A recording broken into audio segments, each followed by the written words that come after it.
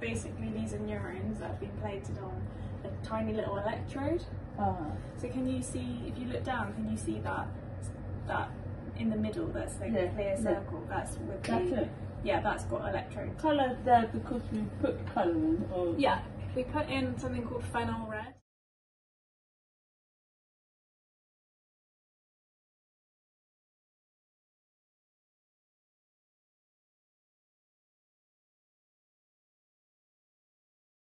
Think about four letters, then it's the combination of letters. That's the next layer of complexity. So if you have an A, T, G, that actually means start. Start. Start, like go. Oh. So that tells the cell when Oh. it's got its transcript.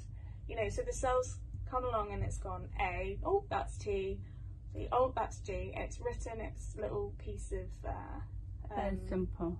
yeah, it's, it's written it. And then a protein comes along and binds to that string of letters and it's, it's kind of scans along it until it finds A, T, G, Uh, which is start. And then it starts making wow. protein and so it just reads the code but it reads the code in triplets That's smart. until it reaches stop which is TGA or This TAA is fascinating because when I went home, I look at the four letters and I thought, oh, whatever the letters are, I can't remember. Yeah? But, oh, so if that doesn't work, wow, a whole thing's like collapse yeah of the DNA, the gene therapy, it doesn't work just because of four letters. Because it affects their life, a whole life of their Yeah. life, from from the start of their life all the way up to the rest of the adult. yeah? yeah Because if I think about from my experience, I have to spend a lot of time with language, speech therapy. mm-hmm. So I never learned another language, French. We had French compulsory.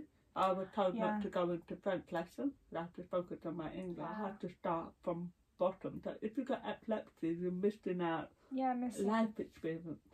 Yeah. Huh? Yeah. So, and that's what sets us back. yeah Why why did you become an artist? Because of deafness, when I was at school, primary school, yeah so I think I was nine or ten. Huh? yeah The Rubbena is a good drawer. She copies. She's Mm. good drawing. Huh? So I think Mm. art was there to give you the confidence. okay so it gave you confidence to express yourself and also your abilities Yeah. to let people So know that's what where able art started right there. Right. I asked my lecturer, I want to learn abstract art. I've been copying. They tell me what is abstract art, how do I get into it? Or paint big chunk of it. He said, there's a seven foot canvas for you. Oh, go on then. Huh? Go on then. But I mean go on then. Paint, huh? What do you want? Shape. Shape. Oh, I can do shape. Uh, finished it and he said, alright, that's good. What did you kind of and he go, Can you see there's a door there and it's going through the door and there's forest in the wood? Yeah. Uh, wow.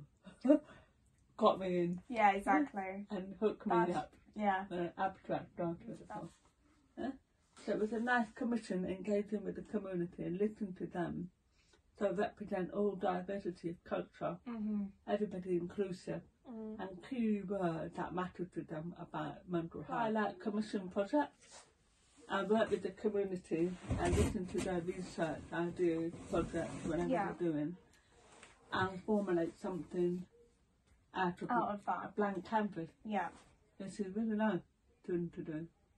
Because at the same time, I've done that, I've learned something new, I've learned a new way of painting or dealing with them, yeah and can put it in my painting. yeah